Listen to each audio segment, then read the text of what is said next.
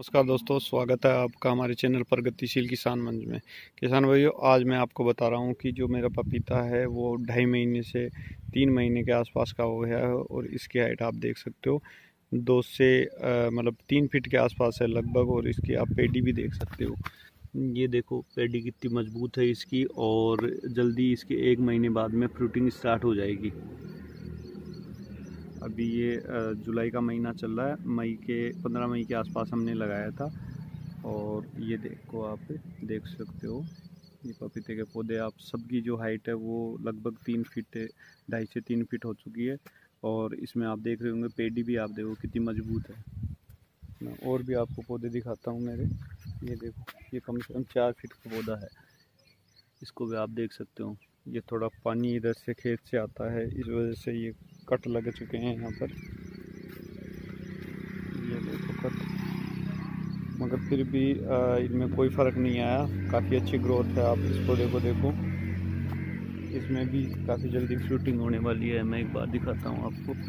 ये देखो, न इसमें अभी कोई रोग भी नहीं है। अभी तक किसी चीज़ का स्प्रे नहीं किया मैंने। हाँ एक बार एन पी के ज़रूर दिया था मैंने महीने भर पहले, जैसे बारिश स्टार्ट हुई थी अपनी। उस टाइम पे एन पी के और गोबर की खाद इसकी जड़ों के पास में मैंने डाली थी।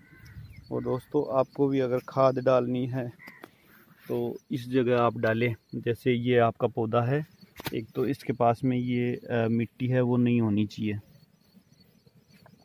थोड़ा सा आप दूर कर दे जैसे ये ऊपर की जड़ें आ रही हैं इसमें तो यहाँ तक मिट्टी हटा दे और जड़ों के बाद में नीचे मिट्टी रख सकते हो आप।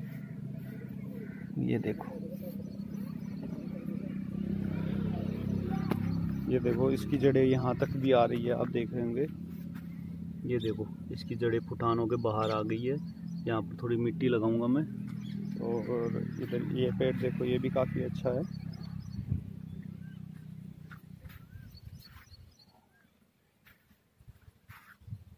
ये कटाव की वजह से थोड़ा जड़ें निकल गई है इनकी तो इस पर ये दो ब्लाकर मैंने रख दी है। अब इस पर कटाव नहीं लगेगा और थोड़ा सा मैं इसको इधर कर लेता हूँ।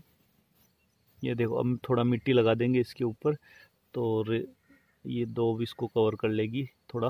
फिर जैसे बारिश ख़त्म होगी, इसको हटा देंगे।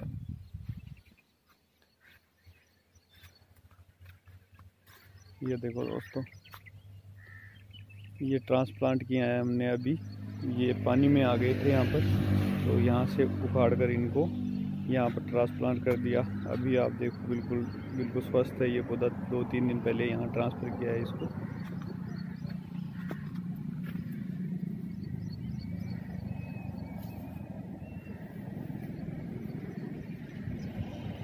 ये फंगसाइड आ चुकी है, देखो फंगसाइड का कैसे पता चलेगा आपको?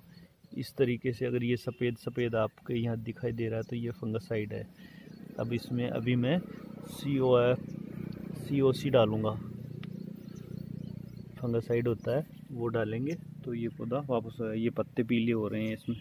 बाकी ये आप सारे पपीता देख सकते हो, किसी भी पपीते में पीले पत्ते नहीं हैं। बिल्कुल सारे स्वस्थ है। उसमें फंगासाइड का थोड़ा प्रकोप मुझे दिखा तो इसमें अभी फंगासाइड डाल देंगे। काफ़ी अच्छे स्वस्थ पौधे हैं दोस्तों।